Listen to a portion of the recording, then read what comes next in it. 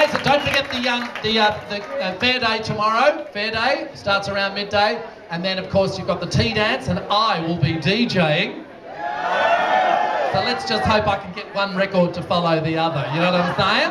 Because apparently that's what you. Oh, and give it up for your local DJ, isn't he great? Dirty Luck. Fantastic music so far, Jamie. A big hand for your local DJ.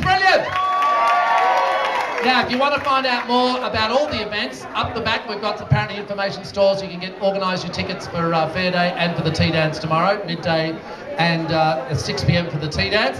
We also have a silent auction. Shut up.